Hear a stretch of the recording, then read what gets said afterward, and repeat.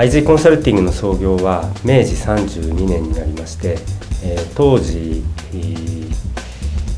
創業者がシロアリ防除の研究を始めたというのがきっかけになります。シロアリの防除から住宅のメンテナンス事業、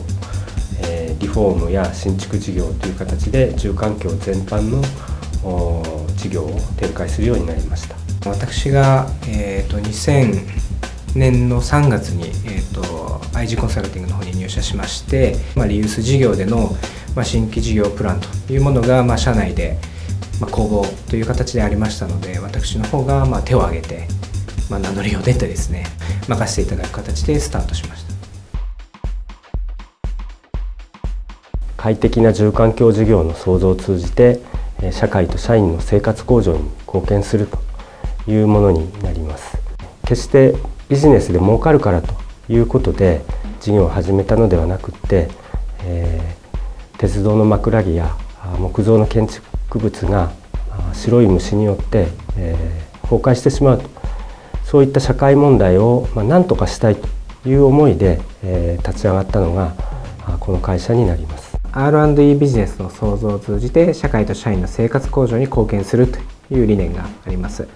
これは、えっとまあ、創業の経緯にもなるんですけども、まあ、僕が、えっと、IG コンサルティングに入社した動機がですねあの R&E というこう今あるものをより長くという形で当社もまあ設立した時に R&E ビジネス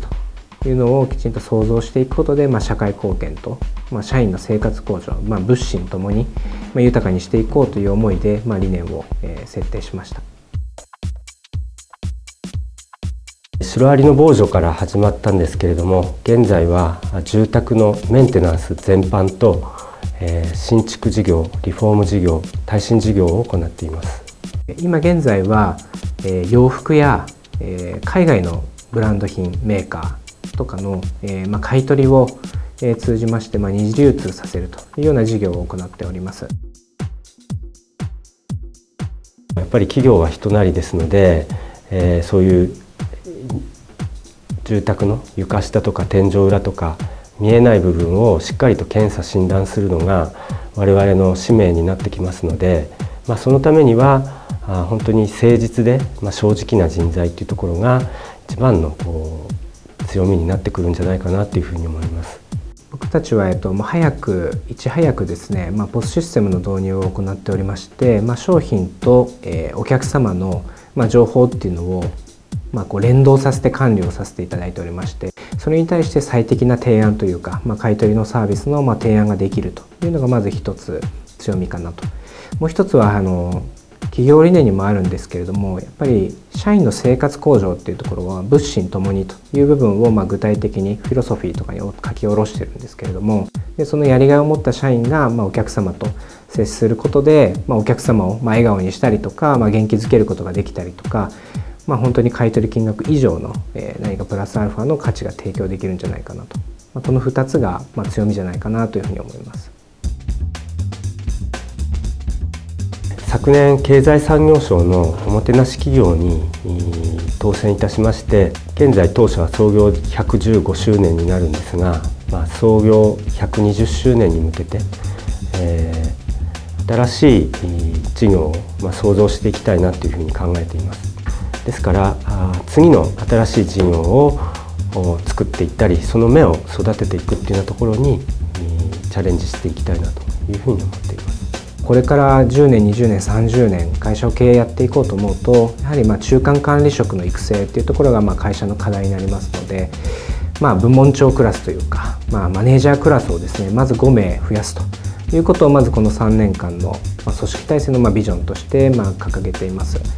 あとはまあプラスアルファやはり、まあ、社員の平均年収を業界ナンバーワンにするというのがまあ僕の5年間のビジョンではあるんですけども、まあ、それをきちんとまあこの3年間とかでまあちゃんと上げていけられるような、まあ、それだけお客様に支持されなければいけないので僕たちの会社のまあ経営方針にもあるんですけれども社員が誇りに思える会社っていうのは一つ会社の目指す姿なので、まあ、社員が友達や家族やまあお子さんであるとかに自慢したくなるような会社ってどういうことなんだろうっていうことを考えてやっぱり経営していきたいなというふうに思います。